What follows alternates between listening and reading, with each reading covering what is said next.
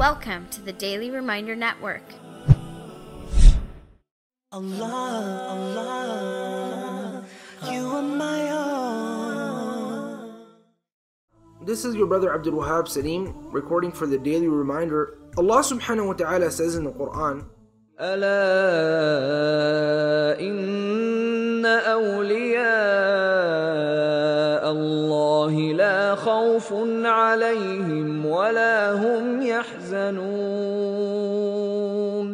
الذين آمنوا وكانوا يتقون Indeed, the friends of Allah subhanahu wa ta'ala, no fear shall be on them, nor shall they have any grief.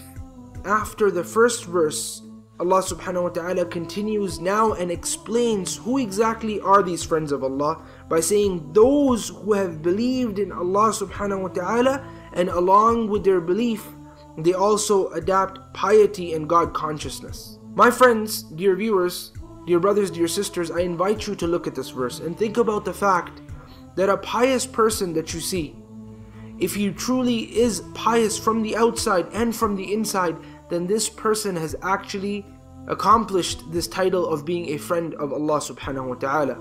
In fact, Allah says, Alladhina amanu, those who believe and do righteous deeds. Some of the scholars they mentioned, pondering this verse, they said that the friendship of Allah subhanahu wa ta'ala is not just one degree and one grade, i.e., you have to cross you know a certain rite of passage and now you have become a friend of Allah subhanahu wa ta'ala. Rather, they said that the friendship of Allah Azza wa is different degrees.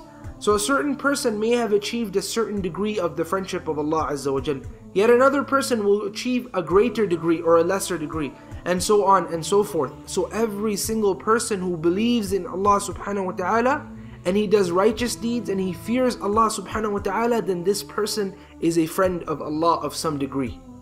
Subhanallah. Did you ever think about that? How beautiful is it that if you just adapt a belief in Allah subhanahu wa ta'ala and you add to that belief some righteous deeds, some righteous actions, God fearingness, God consciousness, piety, then you have now accomplished a certain degree of friendship with Allah subhanahu wa ta'ala. A lot of us, we try, or some of us, we try to go and make friends with someone that's popular in society, someone that is popular in a certain community, someone that is of stature and status, someone who people listen to, someone who people talk to, someone who people look to. Some of us try to adapt friendships with those that have money so we can benefit from their money. This is Rabbul Alameen, the Lord of the universe. He is giving you the remedy of being able to adapt His very friendship. All you have to do is believe in Allah subhanahu wa ta'ala and along with that belief you have to also do righteous deeds. Subhanallah. Dear brothers and sisters, I invite you to go and start believing in Allah subhanahu wa ta'ala with all due certainty. Look into the creation of Allah Azza wa Jal and believe in Him with all that certainty. And along with that belief, start doing those righteous deeds as well, and you will now have adapted the friendship of your Lord. Can you imagine? You're not talking about a rich person who owns a certain portion of wealth. You're not talking about a popular person who's popular in a certain community. Some of the singers and rappers and stuff like that, if they go to another country, nobody even knows them there because nobody's heard that genre of music, though they're popular in their very community. This is your Lord. This is the Lord of everyone that ever lived. This is the most popular figure humanity's ever known. This is the most strongest, most capable, most rich of all. This is Allah subhanahu wa ta'ala. You want His friendship? Start doing righteous deeds and start believing in Him. But I want to add to this point yet another point, and that is that if you do do this righteous deed, and if you do believe in Allah Azza wa Jal, which most Muslims do, most Muslims have some sort of good within them. So there is a certain level of friendship that they have attained of Allah Azza wa Jal, then beware of disdaining any other Muslim and looking down upon them. Beware of harming any believer because Allah subhanahu wa ta'ala gets really mad when you harm his friend. Look at this hadith where Allah subhanahu wa ta'ala says, this is a hadith Qudsi, Allah subhanahu wa ta'ala is talking upon the tongue of his messenger. من عاد لي وليا فقد آذنته بالحرب. Whoever harms a believer, whoever harms a friend of mine, then I have now proclaimed war against this individual. Subhanallah, the war from Allah subhanahu wa ta'ala. Do you really wish to get into war with Allah? Allah subhanahu wa ta'ala didn't proclaim war for any other action with the exception of riba. For the person who takes usury and interest, it's not something small. Your tongue should never be the tool to victimize Muslims. Your tongue should never be the reason for the grief of other Muslims.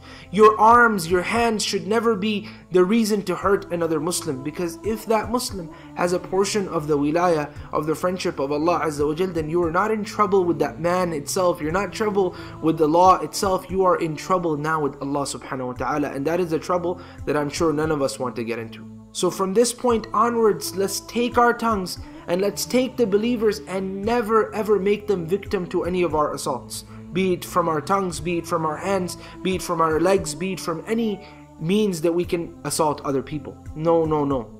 I ask Allah subhanahu wa ta'ala to give us the tawfiq to practice, to convey. I ask Allah subhanahu wa ta'ala to make us from His friends. I ask Allah subhanahu wa ta'ala to help us help ourselves protect other Muslims from our tongues, our hands, our legs, our feet, our mind.